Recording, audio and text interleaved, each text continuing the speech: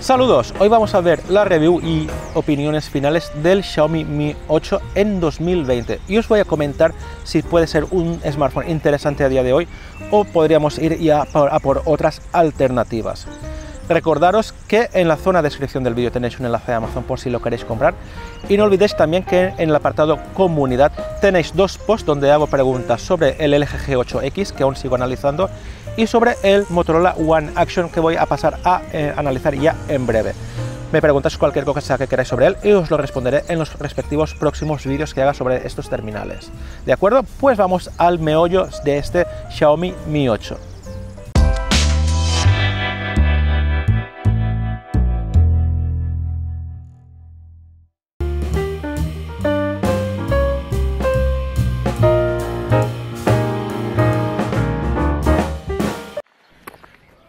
Prueba de grabación 1080-30. Veo bastante movimiento, cosa un poco extraña. Vamos a hacer prueba de balance blancos, está bastante nublado y a ver qué tal se adapta. Vamos a hacer un paneo. De acuerdo. Vamos a caminar un poquitín más y vamos a hacer prueba de autoenfoque. Muy bien. Perfecto. Vamos a girar por aquí. Vamos a girar por aquí. Vamos a cambiar un poco más para que veamos estabilización. Podemos pausar, parar y tomar fotografía. Vamos a pausar un poco y hacemos prueba de zoom. De acuerdo. Tiramos. Tiramos un poco más, parto la mano. Y nos da un zoom por 8. De acuerdo, volvemos. Veo mucho movimiento, veo muy mala estabilización. Y vamos a probar cámara delantera y a otras resoluciones y velocidades. Grabación 1080-30, solo puede grabar a esta velocidad. Vamos a panear. Y vamos a caminar un poquitín. Se ve bastante saturado el balance de blancos. No sé si hay zoom. No hay zoom. Y tampoco pues me imagino que habrá balance de blancos. Eh, autoenfoque. No está todo a foco. Caminamos un poco. Y vemos que tiembla un poquitín la imagen, o por lo menos eso me parece a mí. De acuerdo, pues vamos a probar a 1080-60. Y creo que puede valer. ¿De acuerdo? Vamos a probar a 1080-60. Grabación 1080-60. Vamos a ver qué tal ajusta los blancos. Caminamos. Vamos a ver qué tal. Así veo un poco de mejor estabilización, aunque tampoco creo que la sea la mejor. Vamos a caminar un poco y vamos a hacer prueba de autoenfoque. Muy bien. Probamos de nuevo. Muy bien. Y vamos a hacer ahora también prueba de zoom se ve bastante decente dentro de lo que cabe. Luego lo veré en el ordenador, a ver si... Y vamos a hacer prueba de zoom. Nos fijamos en las placas, como siempre. Tiramos. Y lo veo mejor estabilizado que 1080, si puede ser. A 30. Bueno, pues vamos a probar 4K a 30 y a 60. De acuerdo, pues vamos ahora a 4K a 30. Vamos a caminar un poquitín. A ver qué tal la estabilización. Vamos a pasar por aquí. Y se ve bastante bien. Vamos a panear. Y vamos a ver qué tal adapta el balance de blancos. Bastante bien. Vamos a entrar por aquí. Y vamos a hacer prueba de autoenfoque. Que lo hace muy bien, la verdad. Ahora ha hecho algo raro. Vuelve a enfocar. Parece que lo hagan varios pasos, ¿eh? Vale. Muy bien. Vamos a hacer pausa y prueba de zoom. De acuerdo, pues prueba de zoom. Muy bien. Y me imagino que tendremos un zoom por 8. Y se ve bastante estabilizado. Muy bien, pues vamos a probar a 4K a 60. Bien, 4K 60. Vamos a ver qué tal adaptan los blancos. Bastante bien. Vale. Vamos a caminar un poquitín por aquí. Veo bastante buena estabilización dentro de lo que cabe. Y ahora veremos qué tal en el ordenador. Vamos a entrar aquí. Paneo. Y autoenfoque. Muy bien. Y lo hace muy bien, ¿eh? Lo hace muy bien en todas las velocidades. Vamos a probar ahora también prueba de zoom. Vamos a caminar un poco más por aquí. Y vamos a fijarnos como siempre en las placas. De acuerdo. Muy bien. Y bastante bien estabilizado y bastante bueno, ¿eh? Vamos a probar por la noche a ver qué tal. Grabación 1080-30. Vamos a caminar un poco rápido. He visto que la estabilización es bastante mejor de lo que parece en cámara. Vamos a ver. Vamos a panear. De acuerdo. Volvemos. Y vamos a pausar y vamos a entrar ahí en el parque y vamos a hacer algunas pruebas más. Reanudamos grabación. Vamos a entrar. A ver qué tal adapta el balance de blancos. Y vamos a aprovechar, pues ya que estamos, y hacemos prueba de zoom. Prueba de zoom. De acuerdo. Bastante bien. Muy bien, se ve muy bien. Y vamos a seguir caminando y hacer prueba de autoenfoque. Vamos a poner un poco por aquí. Muy bien. De acuerdo. Y creo que podría valer. Vamos a probar a 1080, a 60, a 4K, a 30 y a 60. De acuerdo, pues grabación 1080-60. Veo que se está un poco más oscuro. Veo un poco más de oscuridad que a 1080-30. Lo que puede ser normal. Y vamos a entrar al parque a ver qué tal se adapta la luz. De acuerdo, entramos. Veo que se adapta bastante bien. Y vamos a hacer prueba de zoom.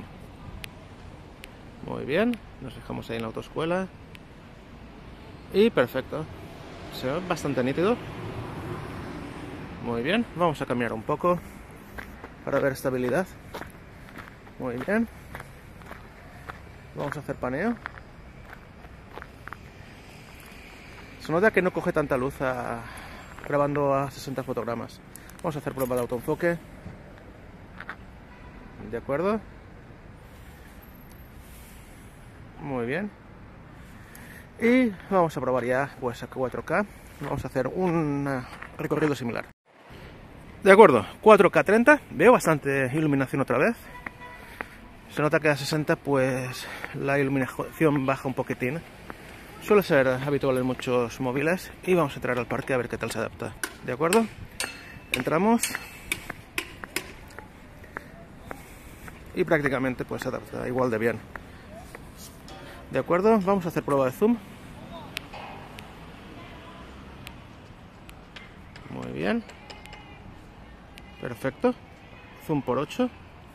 Y vamos a volver. Vamos a caminar un poco más. Y como he visto antes la estabilización era buena. No sé por la noche qué tal será. Vamos a probar autoenfoque. pues lo hace de maravilla también. Paneo. Ahora sí que veo como un pequeño ralentizamiento. No sé si se verá en el vídeo final. Vamos a probar a 4K 60. 4K 60. Veo otra vez que la iluminación es un poco más baja. No hay, por ejemplo, esa sobreiluminación que hay como cuando grabamos a 30 fotogramas. Vamos a caminar y vamos a ver qué tal adapta el balance de blancos otra vez al entrar aquí. Vamos a probar. Vamos a girar y veo que muy bien. Y vamos a hacer prueba de zoom. Prueba de zoom. De acuerdo. Y esto es lo máximo. Veo que ahora se sobresatura un poco. Vamos a probar a volver. Muy bien. Vamos a hacer paneo parece que haga como unos pequeños tirones no sé si se verá en el resultado final y vamos a hacer pruebas de autoenfoque bien. Vamos a probar así. Muy bien. De acuerdo, pues vais a ver ahora unas cuantas fotografías tomadas con, esto, con este de móvil.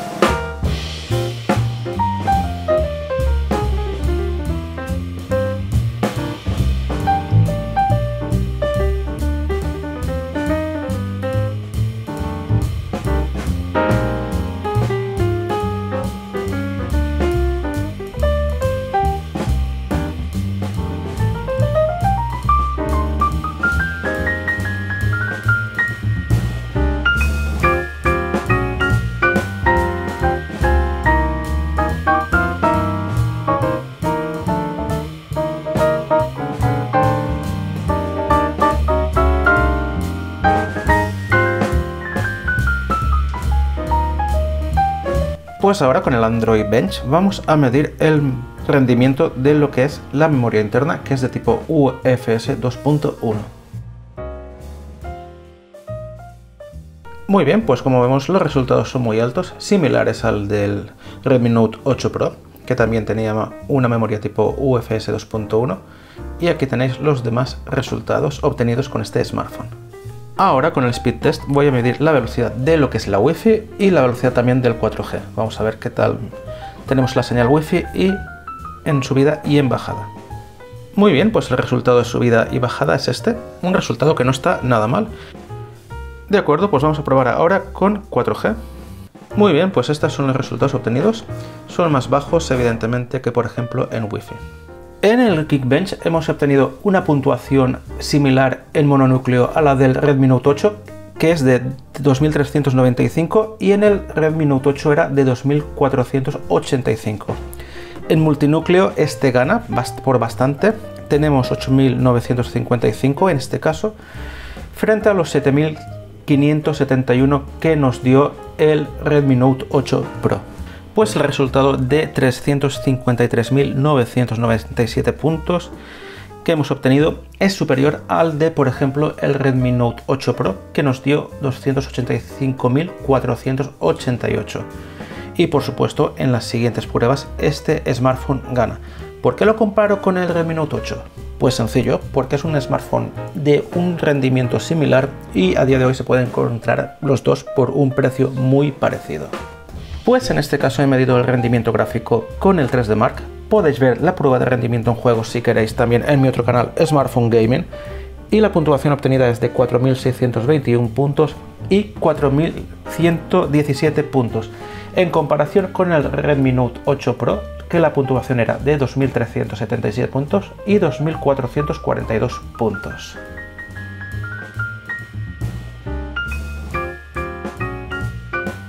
De acuerdo, pues conclusiones. Sabéis que podéis escuchar este audio también en formato podcast en plataformas como Spreaker, iBox, iTunes y, Spotify Podcast. Sabéis que tenéis un link en la zona de descripción del vídeo por si lo queréis comprar en Amazon y así también estaréis colaborando con el canal. De acuerdo, pues después de haber visto todo el análisis que le he hecho pormenorizado a este smartphone, voy a pasar a con vuestras preguntas que habéis dejado en el apartado comunidad. Sabéis que también tenéis preguntas para el LG G8X que estoy terminando de analizar y para el Motorola One Action que voy a pasar a analizar ya en breve y que también podéis ver el desempaquetado de ambos.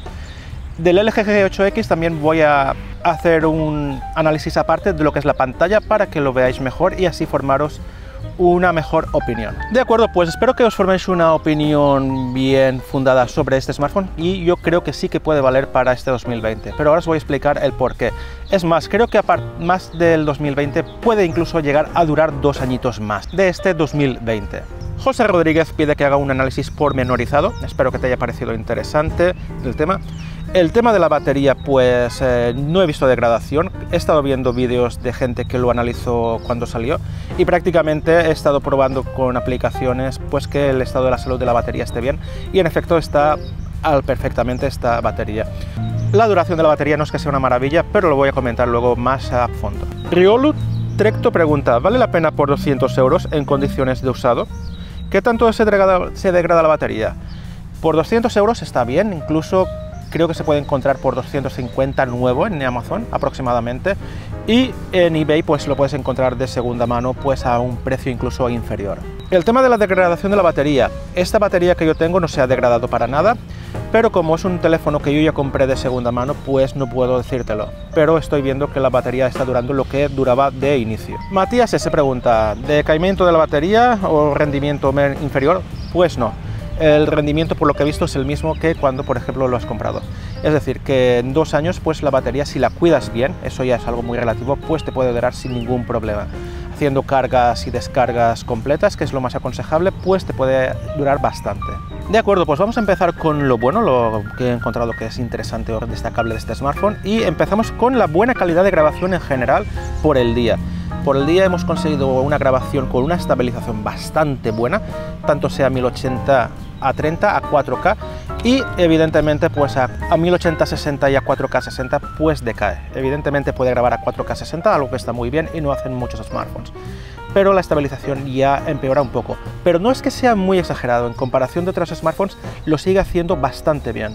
Una cosa que me ha gustado es que tiene LED de notificaciones, que nos ayudará a poder ver las indicaciones y las notificaciones que nos lleguen de diferentes aplicaciones. Algo que me ha gustado mucho y es relevante para decir que sí que es bueno en este 2020, incluso para dar un paso en dos años más, es su buen rendimiento en general, todo ha funcionado perfectamente y como habéis podido ver en la prueba de juegos, si no os dejo el enlace aquí podéis verla en mi otro canal Smartphone Gaming, prácticamente todos los juegos han rendido a la perfección sin ningún problema. Otra cosa que me ha gustado y que es para el precio que se puede encontrar a día de hoy es las cámaras, tanto en fotografía como en grabación de vídeo, son buenas para el rango de precio que nos podemos encontrar este smartphone, tanto nuevo como de segunda mano. Como he dicho antes, en grabación la estabilización es buena tanto a 30 fotogramas, 1080 4K y a 60 1084K incluso lo hace bastante bien en comparación de otros terminales. Otra cosa muy buena y que por ejemplo el LG G8X aún no tiene es que ya viene con Android 10 y MIUI 11, algo que nos hará que estemos actualizados a la última. La velocidad de carga es muy rápida, algo que me ha gustado mucho, luego comentaré qué tiempos me ha dado, pero eso también hace que la batería no sea una de las más grandes y no tenga una capacidad bestial. De acuerdo, pues ya os he comentado lo más destacable de este smartphone. Ya con eso para mí sería suficiente para decir que es un smartphone que puede ser interesante en este año, incluso dos años más, sin ningún problema. Y ahora os voy a comentar lo que menos me ha gustado de él. Algo que no me ha gustado es que la pantalla se ve demasiado saturado. Los colores son muy fuertes y es algo que no es nada agradable y ni es nada real. Existe un modo de calibración, pero sabemos que el modo de calibración de Xiaomi es una auténtica basura sea tanto en pantallas IPS como OLED. Como he mostrado antes, las notificaciones no se ven bien en lo que es la parte de arriba porque las tapa el notch. Tenemos que desactivar el notch, existe una opción, pero tampoco sería lo más interesante, ya que perdemos un trozo de pantalla. Por suerte tenemos el dedo notificaciones que nos avisará de que existen. Algo que no me ha gustado, aunque tenemos 128 GB de almacenamiento, que es bastante, es que no podemos poner una micro SD, que eso nos ayudaría a tener más almacenamiento. Pero con los 128 no es algo alarmante aún a día de hoy. Algo que no me gusta nada y no me gusta nada en ningún smartphone es que no tenga el jack de 3,5 para auriculares, para poner los auriculares que a ti te dé la gana. Eso sí, nos trae por suerte un accesorio. Hablando del audio, el sonido del altavoz es muy chillón y muy estridente. Aunque es muy alto, no representa un sonido nada agradable y tampoco es estéreo. Otra cosa que no me gusta es que no lleva radio FM incluida, algo que sí que podría incluir porque algunas marcas lo siguen haciendo. Otra cosa que no me gusta es que usando el modo noche hace ese efecto acuarela que hace las fotos que sean muy falseadas. Vale que coge bastante luz, pero realmente lo deja como unos tonos pastelosos que lo hace muy irreal. Esto se puede solucionar instalando Gcam, que mejora bastante. Otra cosa que no me ha gustado es la colocación de los botones de volumen. Los tiene en la misma parte y quedan a una altura muy alta, como por ejemplo sucede en este smartphone también, el Motorola One, Action, que preferiría que lo estuviese en el lado contrario. El Always On Display, ese menú que te da información de la hora, de las notificaciones, etcétera, gasta bastante batería. Hemos hablado que la estabilización por el día en el vídeo ha sido bastante, pero por la noche pues esto ya cambia bastante sobre todo cuando grabamos a 4K a 1030 y a 1080-30, que sí que utiliza estabilización, pues hace como un efecto en las luces, como si fueses un poco borracho. No pasa a 1080-60 y a 4K60, pero ves que la estabilización se mueve más. Pero no tenemos ese efecto tan feo. Entonces, si tuviésemos un poco más de buen pulso o utilizamos un gimbal, utilizando esta velocidad obtendríamos una mejor estabilización. Otra cosa que no soporta son micrófonos externos, como por ejemplo este Rode que estoy utilizando, algo que nos ayudaría a que el sonido fuese bastante mejor, aunque como habéis visto en la grabación, el sonido no es malo del todo. Otra cosa que no me ha gustado es la duración de la batería. No es que sea nada alarmante, pero se queda bastante corto en comparación de otras marcas y otros modelos. Utilizando el Always On Display me ha dado una duración de unas 5 horas y 20 aproximadamente. Luego han habido días que me ha durado unas 5 horas 45 aproximadamente, pero no han llegado a las 6. Quitando el Always On Display, la cosa ha mejorado y bastante. He tenido un máximo de 6 horas 20, pero se ha mantenido unas 6 horas aproximadamente. Si no, no eres un usuario muy fuerte, pues te puede llegar al día sin mucho problema. Pero como seas persona que vayas a jugar mucho o vayas a hacer mucho vídeo, pues la batería o te va a llegar muy justita al día o vas a tener que cargarlo antes. Como he mencionado antes, la velocidad de carga, dichoso mosquito, como decía antes, la velocidad de carga ha sido muy buena. Lo he probado con el cargador del LG G8X que venía, porque en mi caja venía un cargador de iPhone, algo que es desaconsejable por completo porque dura una eternidad la carga, es la siguiente. De 0 de un 0% en media hora ha cargado un 51%. Muy bien. Al llegar al 50% ha tardado 22, 28 minutos y en una hora nos ha cargado un 87%. En llegar a estar lleno ha tardado una hora y 25. Y en conclusión, pues sí, es un smartphone que a día de hoy es más que suficiente, rinde perfectamente, no te va a dar ningún problema, aún te va a dar un tiempo de actualizaciones, las cámaras son bastante buenas para el rango de precio en que nos encontramos y el rendimiento en juegos pues es muy bueno. Yo sí que lo recomendaría a no ser que pase de 250 euros, que sería el tope máximo que yo pondría comprándolo nuevo. Y estoy diciendo que por ejemplo, encontrándolo de segunda mano en eBay en muy buenas condiciones, incluso con caja, pues está en unos 150, 180 euros. Un precio muy recomendable para un gama alta. De acuerdo, pues espero que te haya parecido interesante. Si me ha dejado algo, no olvides preguntarlo en la zona de comentarios y te lo responderé lo más pronto posible. Y si te ha gustado el vídeo, evidentemente no olvides de dejarme un me gusta, te lo agradeceré mucho. Eso hará que el vídeo se posicione muy bien. No olvides suscribirte al canal y activar la campanita para que te lleguen las notificaciones. Aunque muchas veces no sirva para mucho, pues te ayudará a que puedas ver lo que haga posteriormente con el LG G8X, con el Motorola One Action y todos los smartphones y productos que vayan a realizar en un futuro, ¿de acuerdo? Si lo compartes con tus amigos y redes sociales, pues te lo agradeceré.